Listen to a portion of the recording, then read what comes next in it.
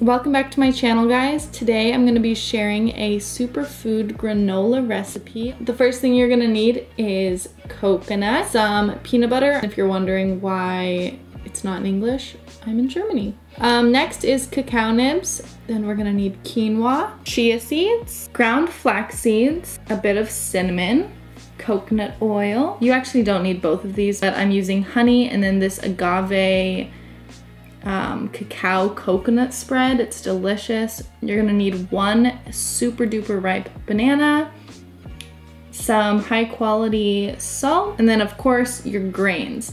Now here I'm using this handy dandy mixer. We don't have any just oats in the house, so I'm using this mixture and I recommend doing just plain rolled oats. I think that would turn out better, but this is just what I had in the house, so I went with it.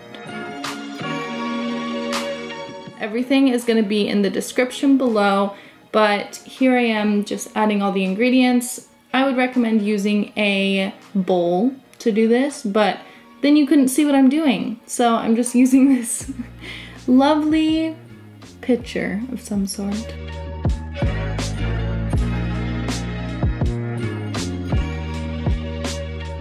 Give this a good stir and now we're onto the wet ingredients. I'm just going to mash up one banana.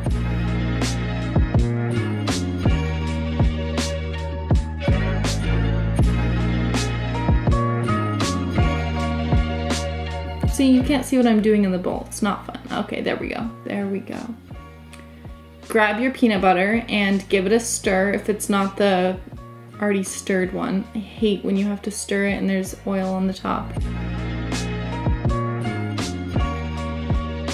And grabbing my saucepan, putting it to about medium to low heat, and just adding everything else. You're wanting to just melt everything down so it's easier to mix in with the dry ingredients.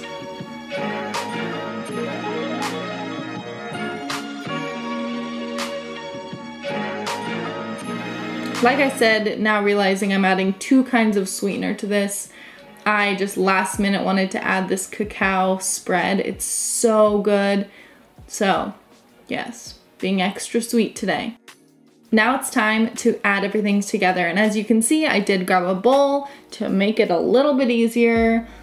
Um, actually a lot of bit easier. You're just gonna wanna stir it until it comes this um, sticky texture. And like I said, using rolled oats would be better, but I didn't have any. So we're doing the untraditional granola today. Just laying that out on a pan, I pop it in the oven for about 15 minutes at 300 degrees, I think I did.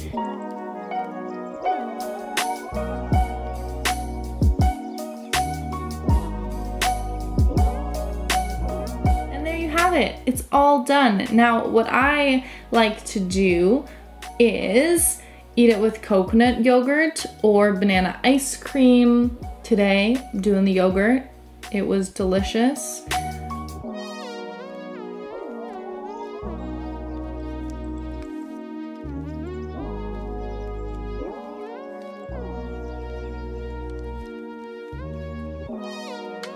And last but not least, add those cacao nibs because yum and superfoods did. I'm sure you guys are wanting to know the exact ingredients. You can find that in the description below.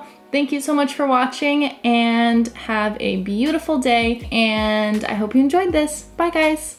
Into the dark, found by We were so close